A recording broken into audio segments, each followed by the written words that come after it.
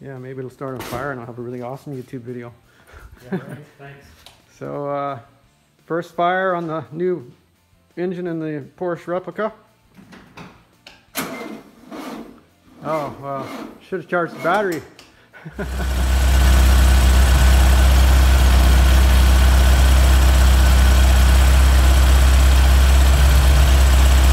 Fired right up.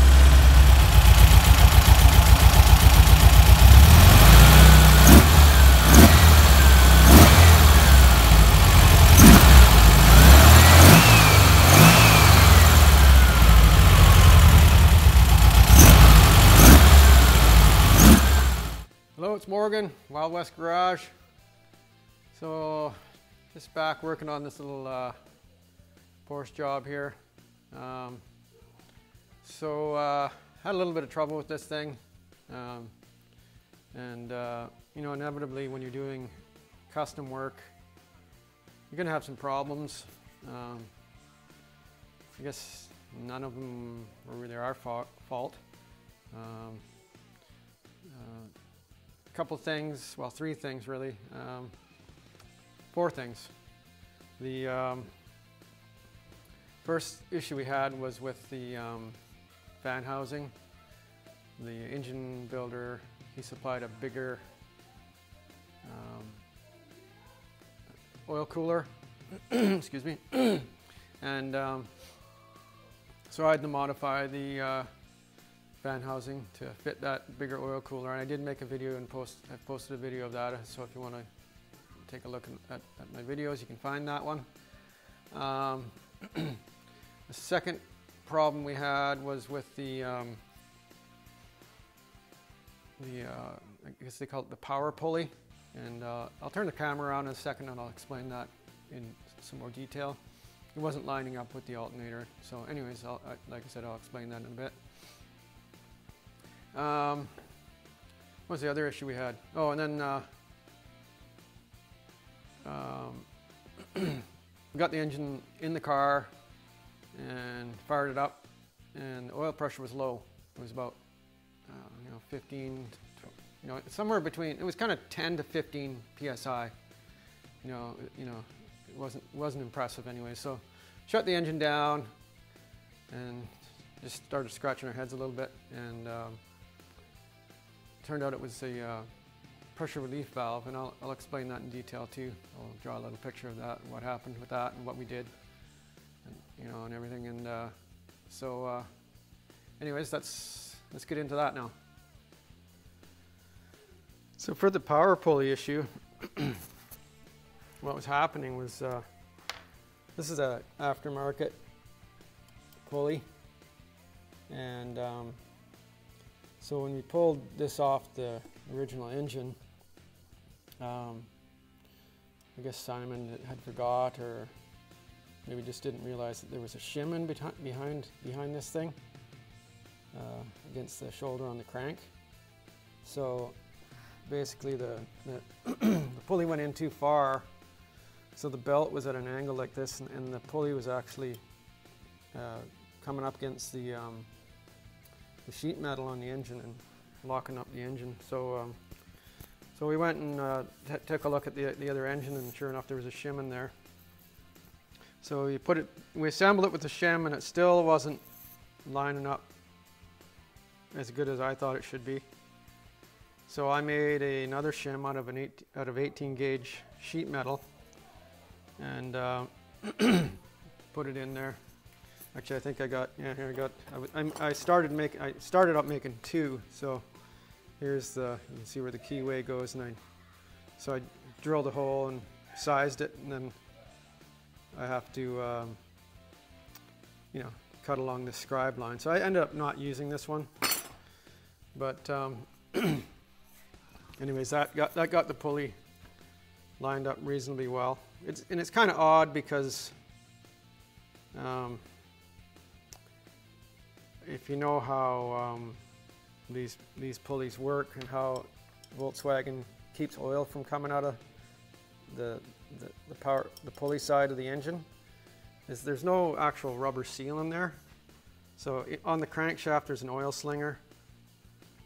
And then then those two shims I was talking about, and then on the outside diameter of the, of uh, I guess you want to call it the sleeve that's on this pulley, it's there's a thread cut in there. So basically what it does is as oil comes out along that surface, those threads push it back into the engine. Seems to work, but the trouble with shimming that pulley out, the more you shim it out, the less of that threads inside the, the, the casing, and I would imagine that screw effect becomes less effective. So I'll, I'll just, you know, I'm just going to draw you a little picture. Yeah, oh, and another thing I had to do is uh, once we had those shims in there, there wasn't enough thread engagement for the bolt. So I had to machine uh, recess in the face of this to get the, uh, the bolt further in. And there's lots of meat there to, to work with, so that worked out really well. So what, what basically what you got is you got, uh, hopefully this pen works, got the crankshaft, there's a shoulder on it, it comes out like this, and there's of course there's a keyway on there, or key as well. And then there's an internal thread, runs in here.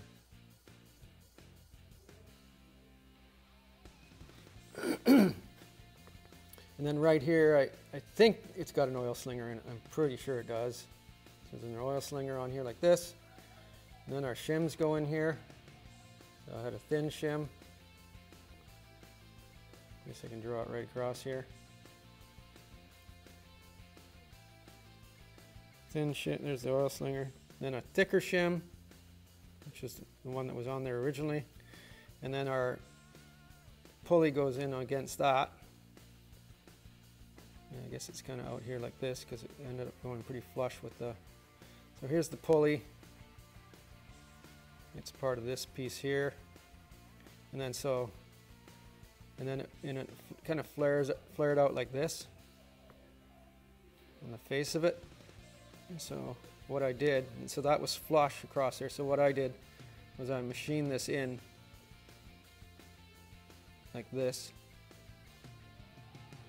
so the bolt could get better thread engagement in there and there's a washer in here too. So so without machining that down I think we were catching maybe one thread. So that wasn't that wasn't good at all. So so anyways that that's that pretty much explains that. So um, and then on the oil pressure relief so so like I said we fired it up. I didn't have adequate oil pressure. So on so so I thought I wonder if maybe the spring's too weak in the pressure relief valve or or we left the spring out maybe because we did we did take the um, plug out because Simon has a, a, temperature gauge that screws in in place of the plug. It's an oil temperature gauge. So anyway, so this this is basically the deal here. So the the pressure relief valve it's a, it's a it's a it's, it's bored it's, there's a bore goes in, in, so this and this thing is uh is right up at the back of the, uh, I guess it's called it's the front of the engine on this car but it would normally be the back where the where the bell housing is and the transmission clutch is right here. So um, it's, it's right up in kind of the, cl close to the flange where it bolts onto the transmission. So, so what it is, is uh, it's a bore, and then it's got a port here, which I imagine the oil pressure comes in. And then on the side, there's a, I, I, there's another port here, and I guess that just goes back into the oil sump, right? So the oil sump is in this area here.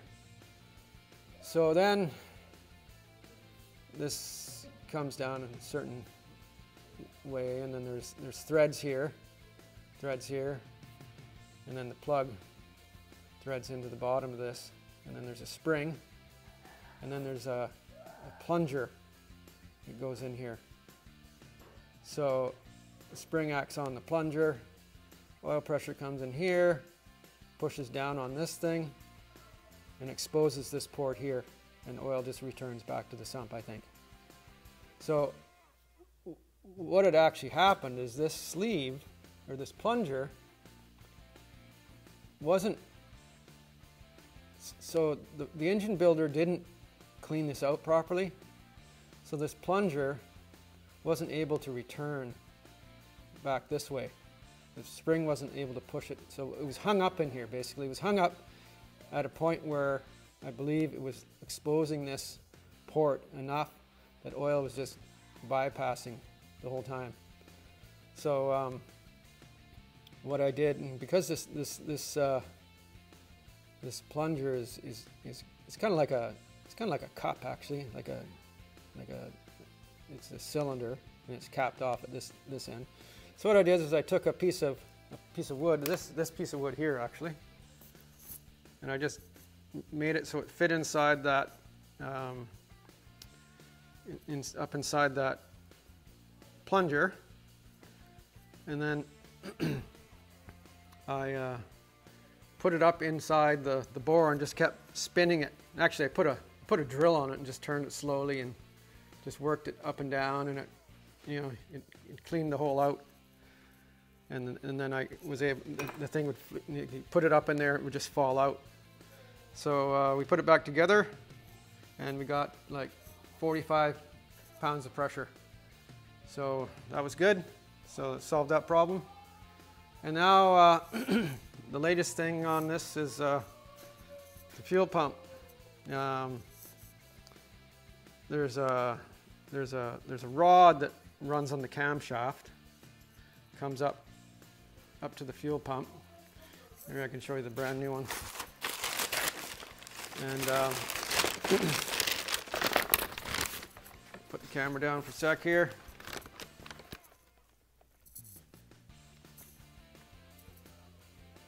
Eh, see my nostrils.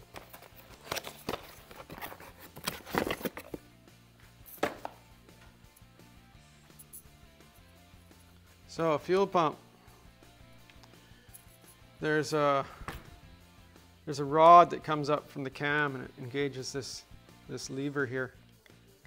And um, I don't know what's going on with the, the fuel pump that's in there right now, but um, we took it off, and then I, when I pushed on this, it didn't seem like it was doing anything.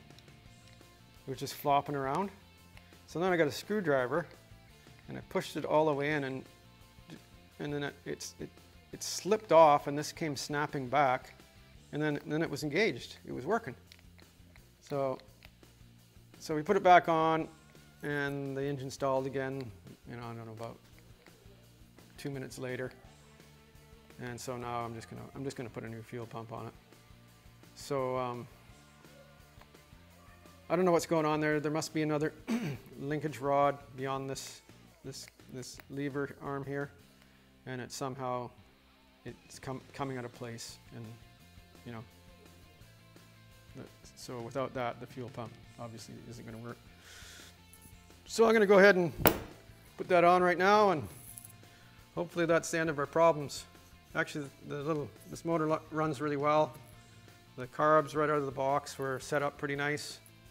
I think they're a bit much for this engine, but uh, you know we can. Uh, um, you know, I, I'm, I'm sure there's jets available. You can you can get for them and you know lean them out a bit.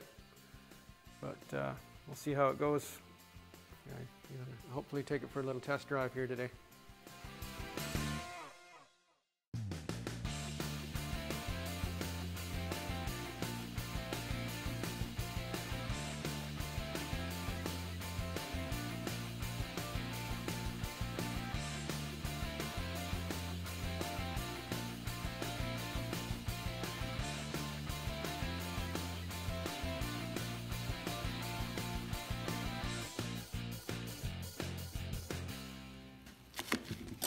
So this is what I'm talking about with this fuel filter.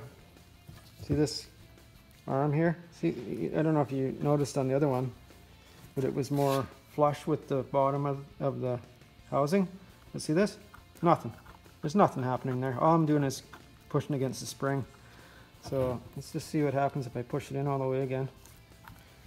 and I can make it fix itself like I did last time. Yeah. So it's hooped.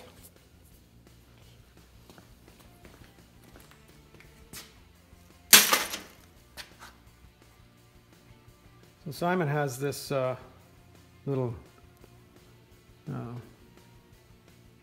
picture story here, I guess you want to call it, of uh, of the car, and that's kind of what it looks like now, I guess. Maybe not.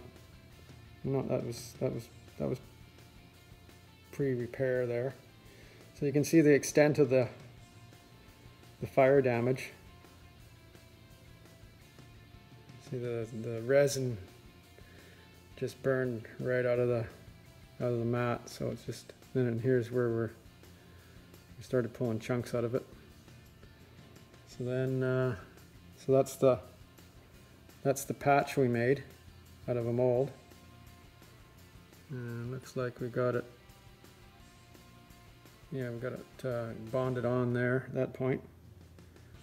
And then there's some uh, fiberglass filler going on. More fiberglass filler. Sanding, more sanding.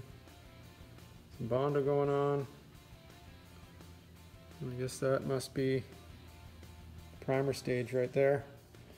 And then the dash, the fire went spread into the interior, but the dash was a little scorched, so that had to be fixed up.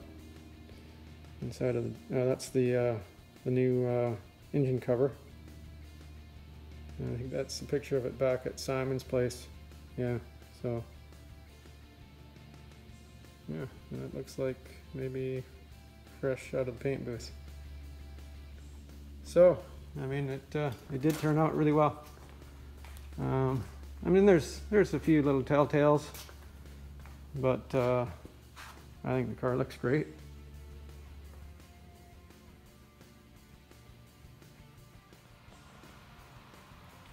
Just spent a little bit of time getting this linkage sorted out here. So, two carburetors, what do you want to call this? Fuel linkage transfer rod or whatever. I don't know what you call it, but so that connects the two levers on the end of the shaft. And then there's a little Heim end here, link Heim end down there. And then there's a an arm on the throttle shaft. So there's a little bit of geometry to consider here. So these two rods, they're going down at an angle. You can see that one, can't really see it, sorry. But it, it goes down from here to the carburetor at, at an angle. So you want these two rods to be basically at the same angle. I mean, I didn't put a meter on it, but, but you know, just eyeballing it from both sides, they appear to be pretty much at the same angle, right?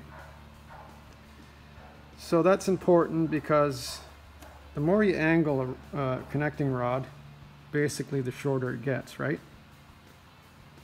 So if you got one leaning way over like this and one leaning going straight down, when you start to push them down, they're going to push down at different rates.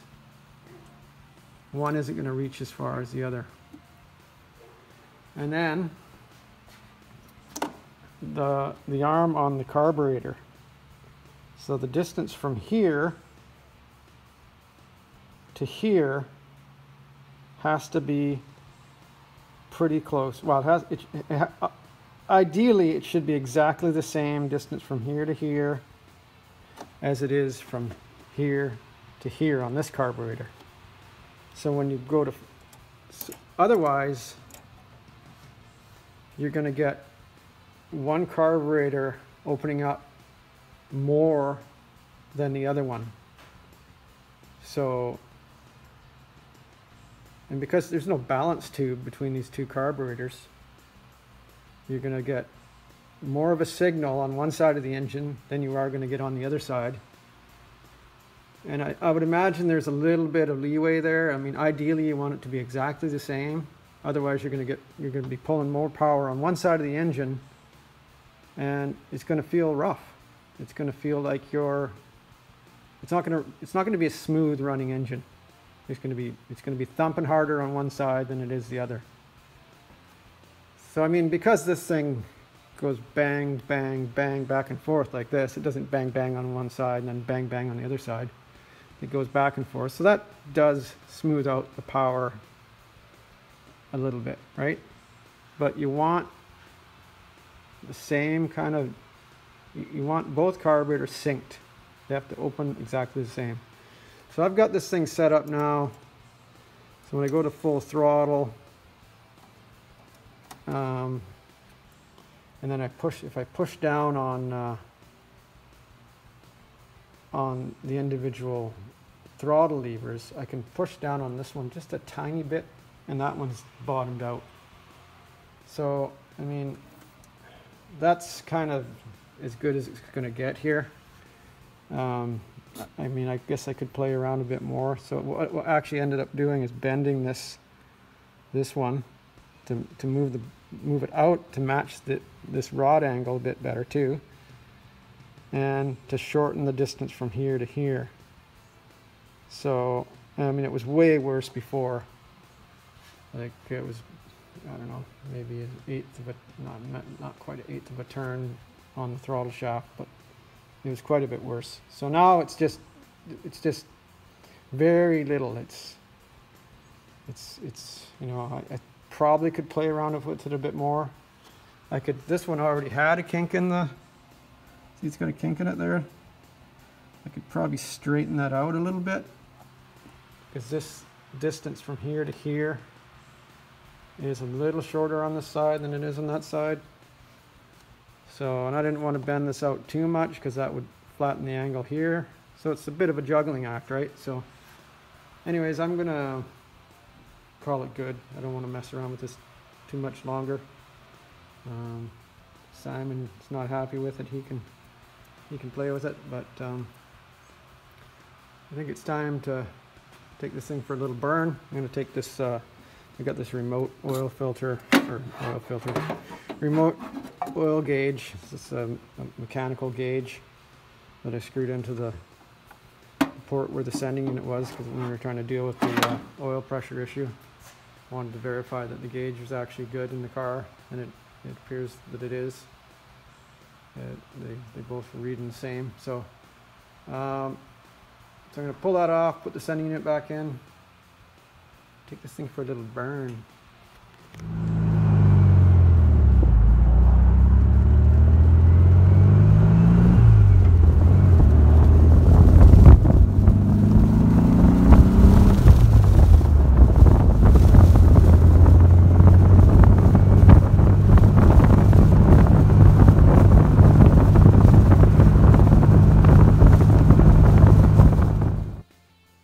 just back from a little road test. Uh, the car ran pretty well. Um, it uh, got a bit of a bog right off the right off idle when you're taking off, but um, you know I'm, I have not really messed around with the carbs too much, but they're pretty big carburetors, so might uh, might not get away from that so much. The, there's enough carburation on this thing for a small V8. So uh, like, you know, easily for like a 300 cubic inch V8. So uh, you may have to just, you know, get used to that and soft pedal a little bit, a little bit uh, off the line. Um, but you know, maybe I can, maybe I can fiddle with it a bit and clean that up a bit. But, but it ran really nice. Uh, cruises along really good and anyway, so uh, Simon will be back up this weekend, and and uh, we'll do a little little bit more work on it, and uh, maybe do a little more more tuning, get it sorted out a bit. But uh, that's it for now. Um, thanks for watching this one. Uh, you know, this this car's been pretty interesting. you know, there's some different things that I really haven't done before. I haven't really messed around with dual carbs uh, at all, really. Uh, you know, lots of uh, lots of four barrel stuff and you know V8 stuff. Not not a whole lot of Volkswagen stuff, but uh, you know, it's all nuts and bolts. So, anyways, thanks again, and uh, see you next time.